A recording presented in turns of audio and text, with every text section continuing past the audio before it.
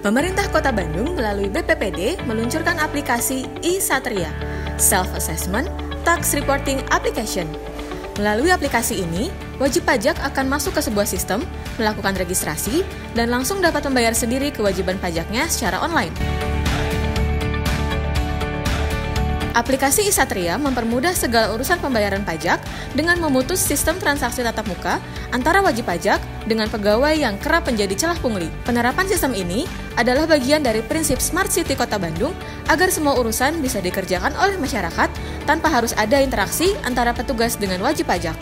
Kita sudah punya uh, pengurusan pajak secara online, menghilangkan KKN, menghilangkan pungli di situ pelan-pelan Makanya kinerja birokrasi kami dari ranking 200 2013 tahun ini kami ranking satu nasional beres-beres.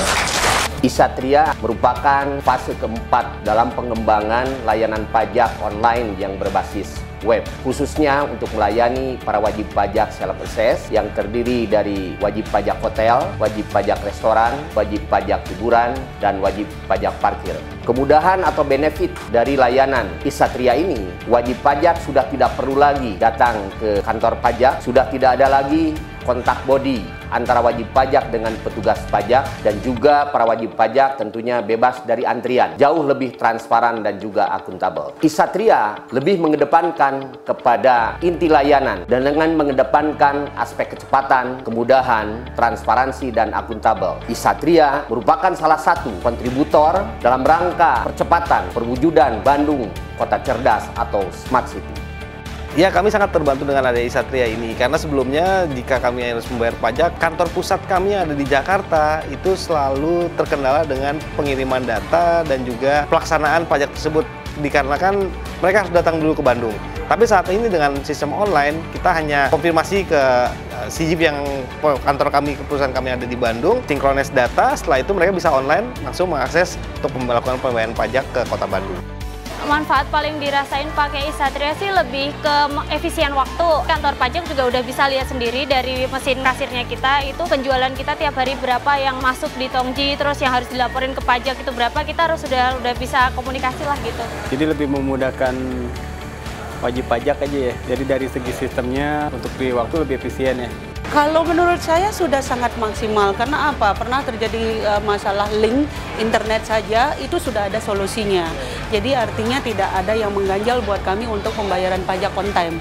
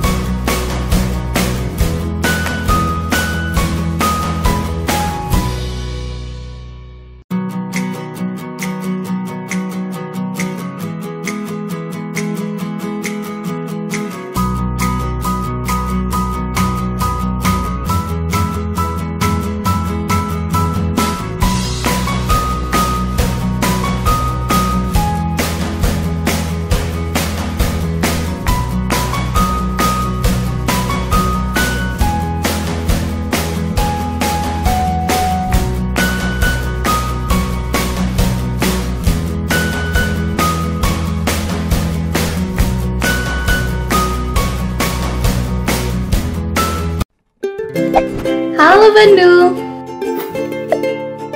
Tahukah kamu jika seluruh masyarakat dan organisasi dapat mengajukan proposal bansos dan hibah kepada pemerintah kota Bandung? Lalu, apa itu bansos?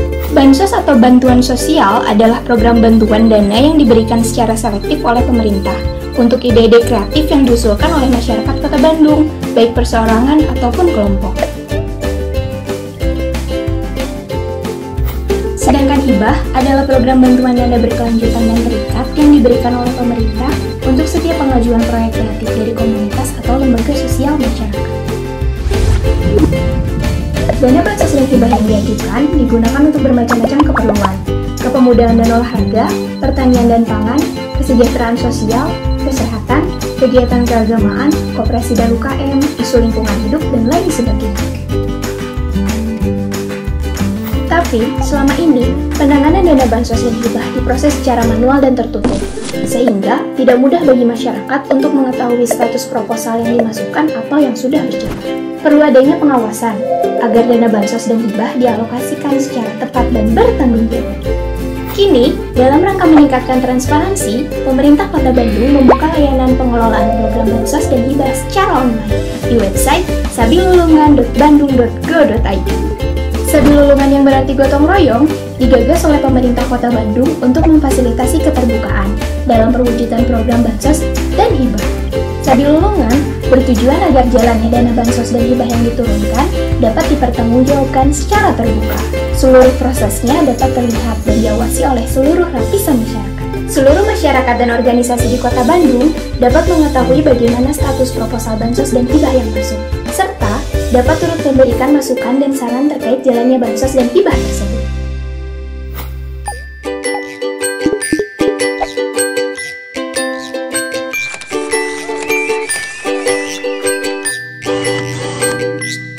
Jadi, bagi kamu yang ingin berpartisipasi dalam membantu pemerintah Kota Bandung memonitor dan mengawasi program ini, segera klik sabilulungan.bandung.go.id.